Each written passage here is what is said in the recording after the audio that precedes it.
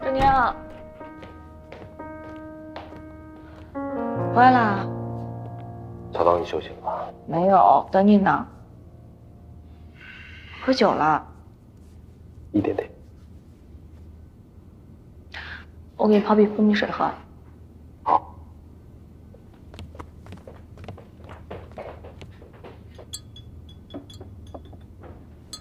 喝点。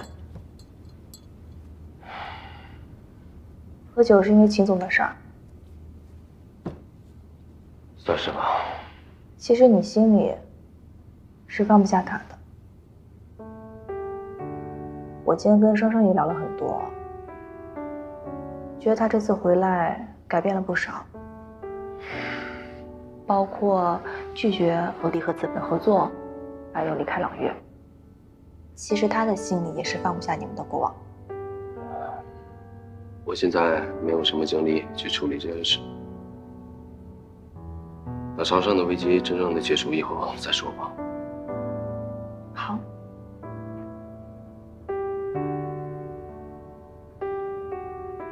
嗯，那董事会那边呢？是不是也不安分啊？公司的事儿你不用操心，还有我。知道了。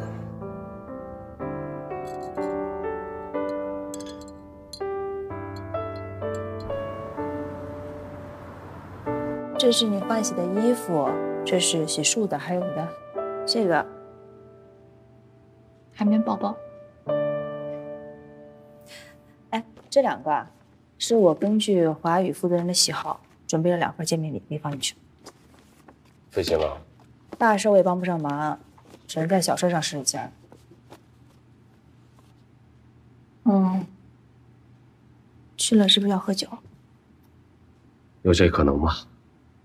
你少喝点儿。照了。嗯，振宁，要不我把看看二摊卖了？虽然也卖不上什么钱，但是能有一些实现。唉，长盛啊，没到那个地步呢。啊，我问安安了，你们的账户上已经没钱了。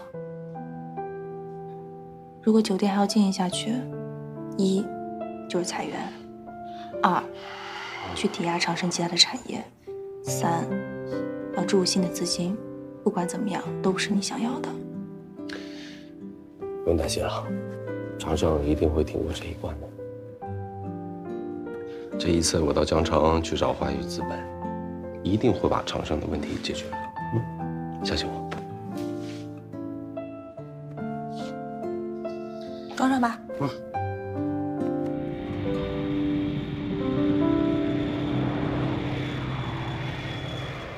当年我父亲还在世的时候，我就听说您特别有意向投资酒店行业。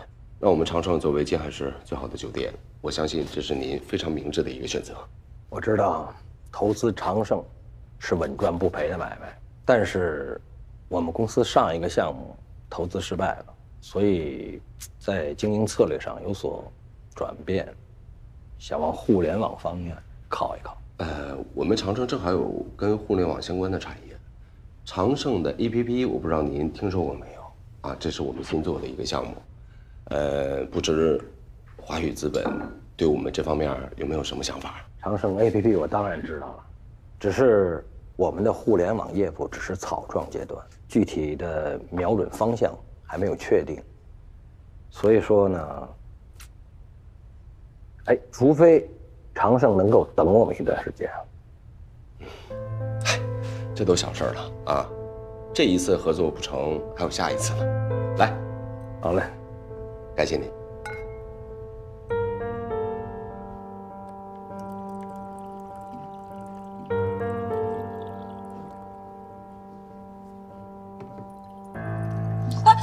哇，哎，没事吧？你接水也得看着点啊。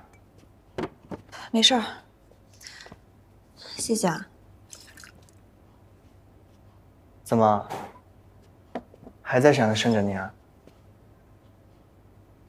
对啊，不知道为什么，我有一种特别不好的预感。那你打个电话问一下他呗。我干嘛要问他呀？